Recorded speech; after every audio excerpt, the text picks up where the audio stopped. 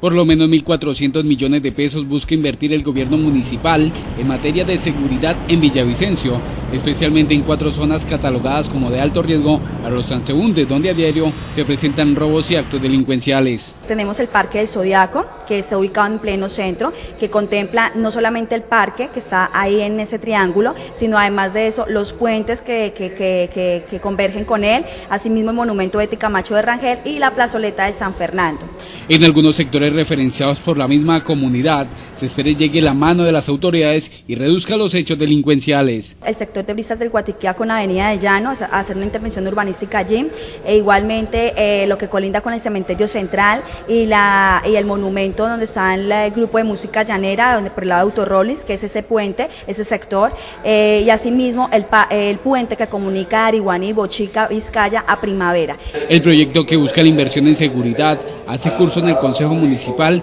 y se espera sea aprobado el próximo sábado luego de su socialización.